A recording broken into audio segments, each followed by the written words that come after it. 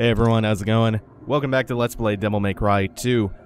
Last time, we got a real good glimpse of the game's true nature, which is a oil drum full of boiling dog vomit. Mission 7's not going to improve much. A meeting of power shall end in conflict.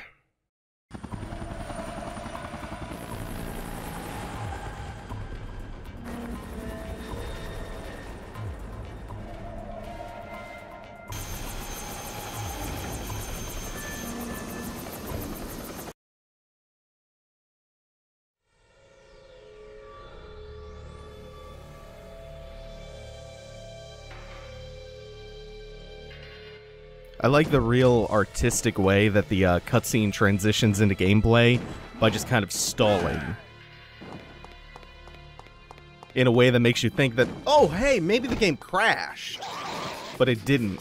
It just kind of paused the cutscene, give you a nice little free artistic freeze frame of nothing, and then we're back into gameplay. Ah, we're in the factory. Mission 7, the Ouroboros City oil factory? Not entirely clear where we are. I do know this dopey ass place is called Ouroboros City.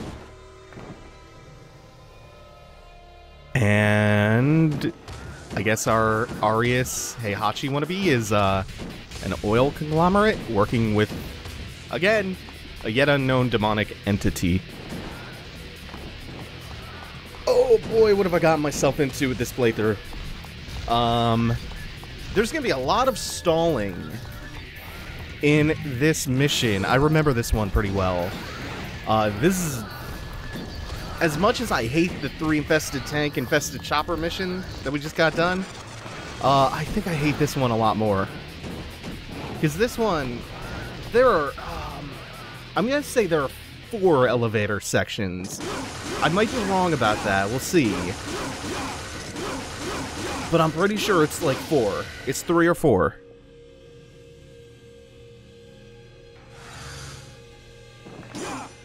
Um, a lot of you might be wondering, Dave, why are you LPing a game that you so clearly hate? I don't do this often. I don't LP games I really hate often. But I'm planning on doing all the Devil May Cries. Eventually, I would like to do all character action games, period. Um, just as like a, a good retrospective on how that genre's evolved. By the way, that's a new enemy. It's a bomb. And I kind of underestimated its explosion radius. Um, but I think that when you explore a series, um, it's important to not only see the good of the series, but also to see how how far awry, how far afield that that series can go. Uh, Devil May Cry is a wonderful uh, understandably celebrated series full of four fantastic games. It's a five game series.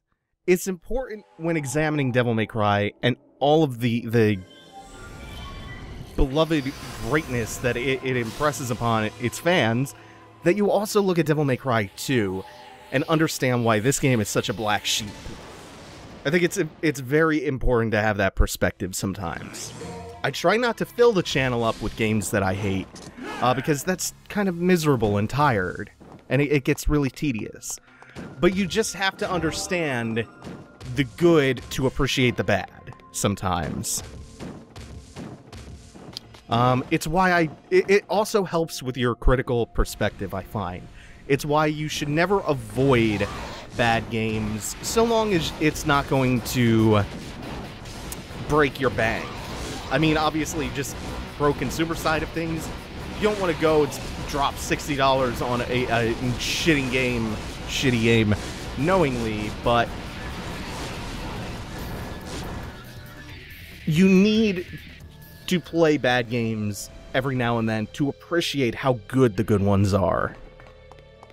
Um, by the way, I've kind of just been talking over this. I've now found two hidden objects in the environment. One of them was a piece of the amulet. It was the fire heart. The other one, or uh, yeah, it was the fire heart, uh, which just replaces the electro heart in the amulet. Instead of uh, electric-based attacks in Devil Trigger, we'll now get fire ones. Uh, and as we jump down into this room that was concealed by the lava pit in the middle of the, the uh, factory, we also pick up Vendetta, which is a new sword.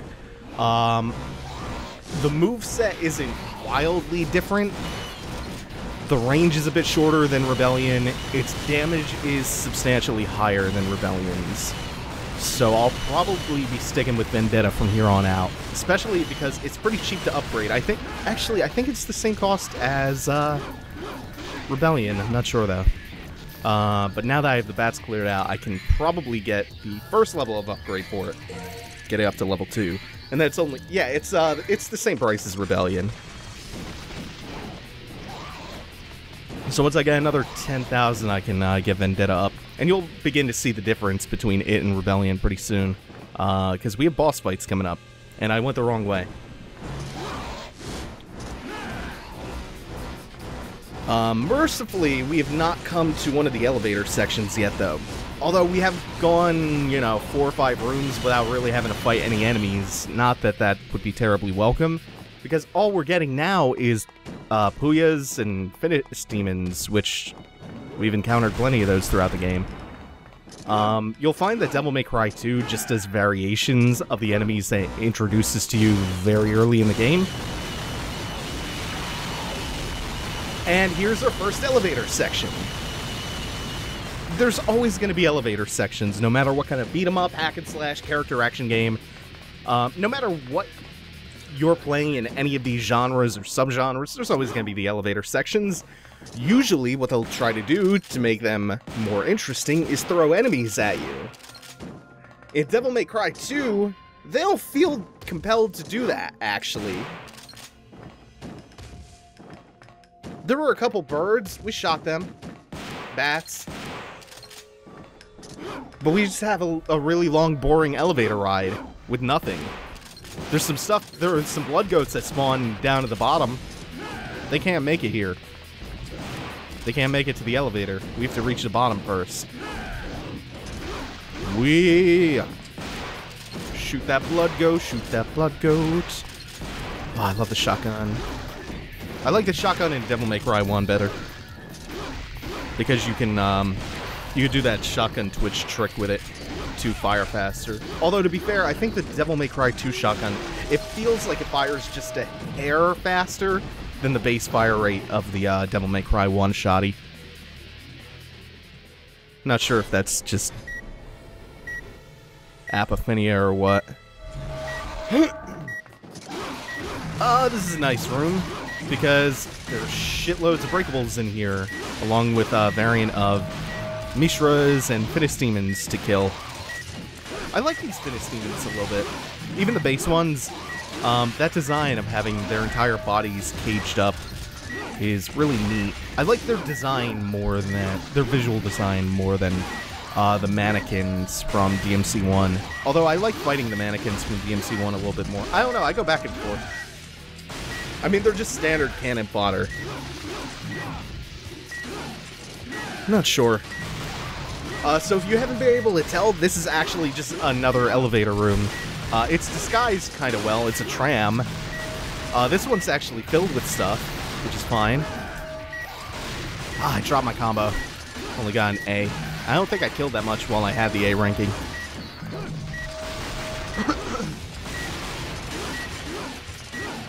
So now it's probably a good time to explain for those new to the series, new to the genre. The upper right below my red orbs, that's the uh, style ranking.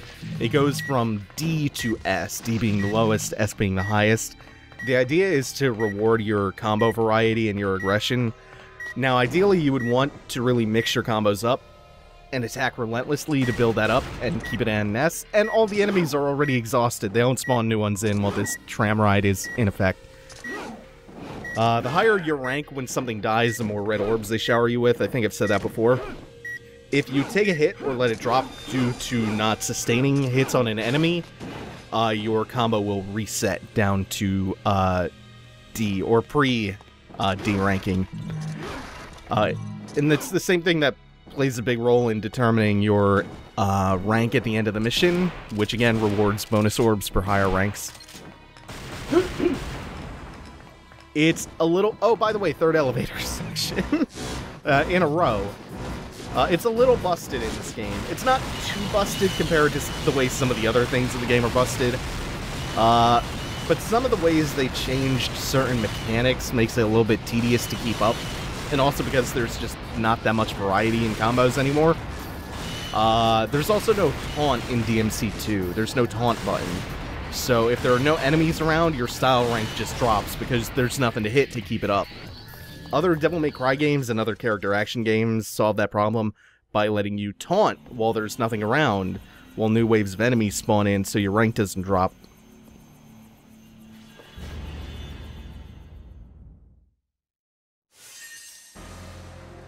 And we've reached the end of the mission. Uh, three elevator sections are basically what constituted that eight minute runtime of that mission. I imagine like at least three minutes of that was just being on an elevator with nothing else going on.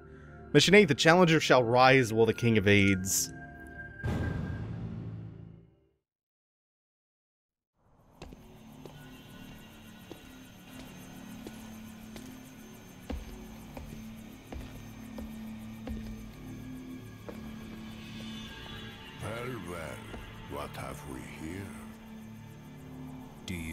To ask?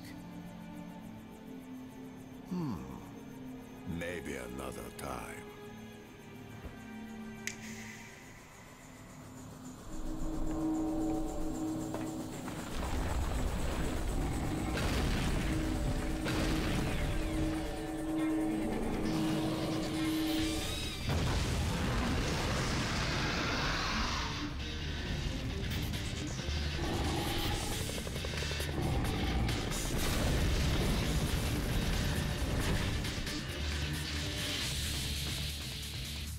That is a Devil May Cry looking boss. Furia Taurus. Angry Bull.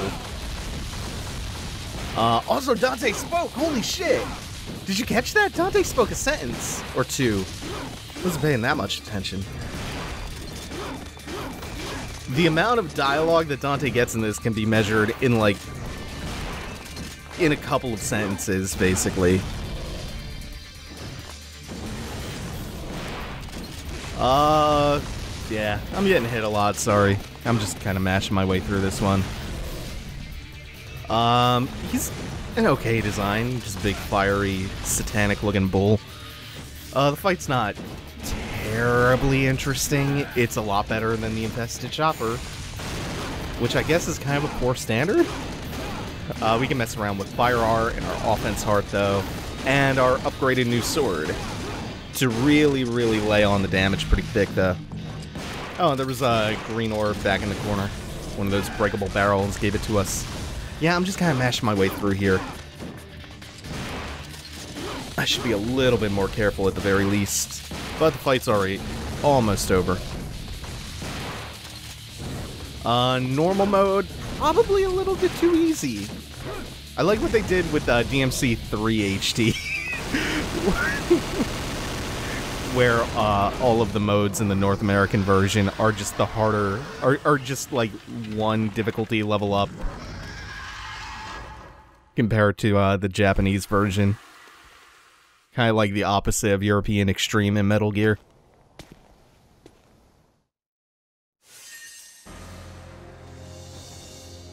That's Furia Taurus.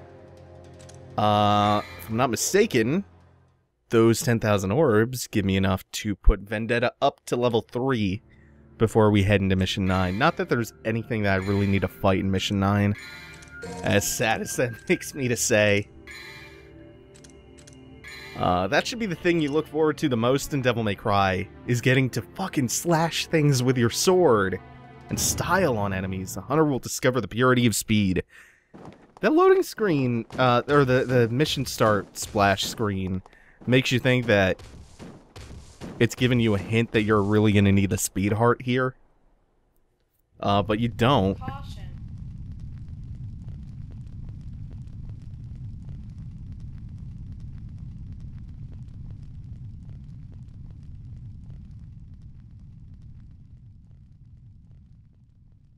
Warning.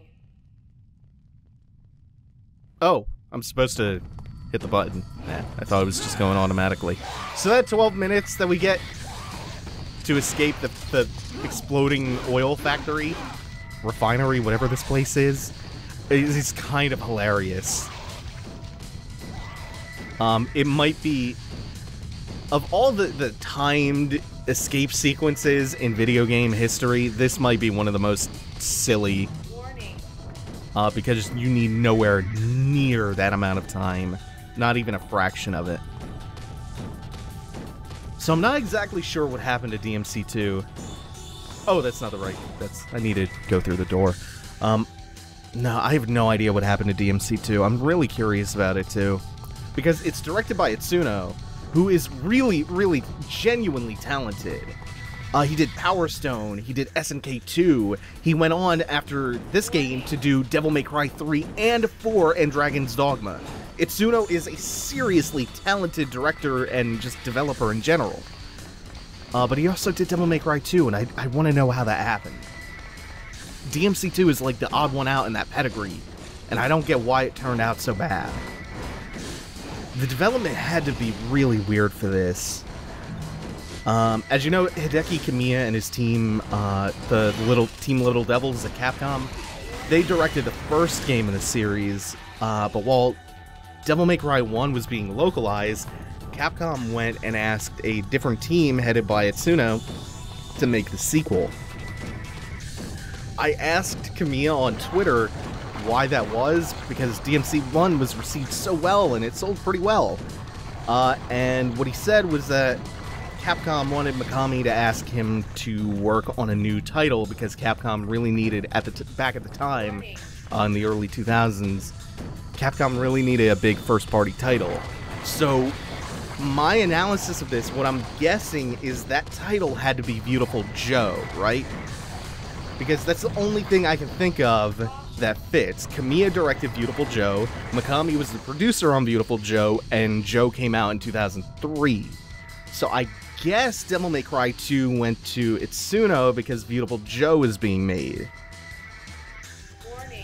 Uh, but Kamiya was really bummed out about that because someone just walked up to him one day, uh, and this like Devil May Cry 2 was started development while DMC 1 was still in the process of being localized. Keep that in mind.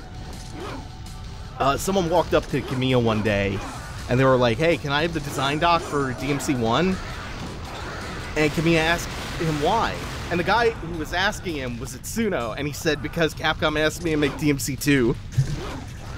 I, it, it still doesn't explain why Devil May Cry 2 turned out so poorly.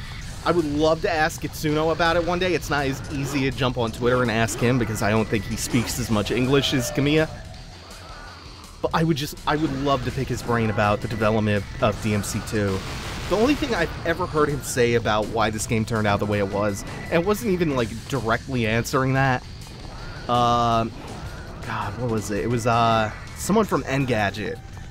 Someone from some guy from Engadget was interviewing him once uh, before DMC4 came out, and the guy from Engadget was like, "Well, DMC2 sucked. What did you learn from it?" And Itsuno just kind of dodged it and basically said, "Well, we learned that DMC3 would be a good foundation to have 4 built on." Beyond that, I I can't even begin to figure out where they went so wrong here. I mean, I get there's gonna be some growing pains when you just switch directors and teams, but again, Itsuno is so talented.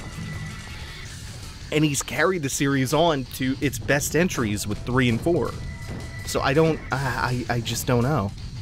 Uh, either way, I'm pretty sure we're just about. What the fuck? What was with the sliding against the wall when I entered the door? Yeah, we're just about done. We have a biplane here.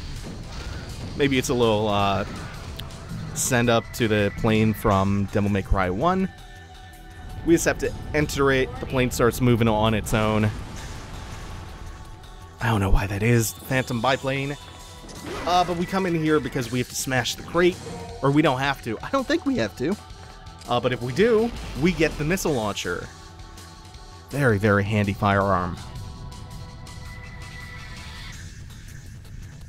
And the biplane moved forward on its own and crashed into the grate on the wall. So that we can escape through here. Somewhere. If I rub my face against this wall enough. Uh, and we've almost eight full minutes left on the clock.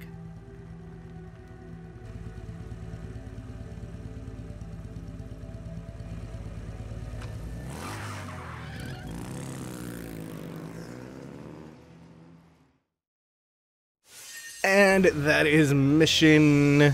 What was that? That was mission 9. Mission 9 is out of the way. And that's going to do it for today. Thanks for watching, everyone. Take it easy. Have a good one.